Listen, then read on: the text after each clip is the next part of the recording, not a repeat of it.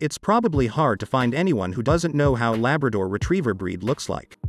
It is no wonder. The Labrador is one of the most popular breeds in the world and the most popular breed in America. Now, few people know, but once upon a time, long ago, these dogs faithfully served fishermen.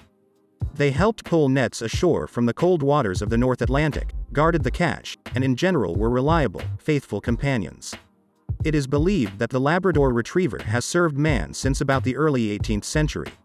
Modern scholars disagree on the origin of the Labrador, but the generally accepted version is that Newfoundland was crossed with the St. John's dog, as well as several other local waterfowl breeds. Which ones has not yet been possible to ascertain, but we can see the result with our own eyes, in the Labrador breed. The Labrador Retriever breed has a large size, muscular build, and a pronounced chest. The Labrador Retriever is a breed of dog widely known not only for its helpfulness but also for its kindness. They are very open, affectionate, and friendly animals, which primarily value a good relationship within their family. They are extremely loyal to their owner and family and are happy to spend all their free time with them. In addition, Labradors are also great with strangers. If a person does not cause a threat, the dog is more likely to try to make friends with him, rather than alienate him. You can say that the Labrador treats people well by default, as long as the person has not created a reason to treat them differently. This breed of dog has a very developed intelligence and perfectly understands people. Moreover, the dog not only understands what is wanted from him at a particular moment but also feels the emotional situation around. And therefore, do not be surprised if your pet will try to intervene in a family quarrel and diffuse the situation with his kindness. Another distinctive feature of the Labrador Retriever breed is its wonderful, legendary attitude to children. These dogs are not considered to be great babysitters for anything.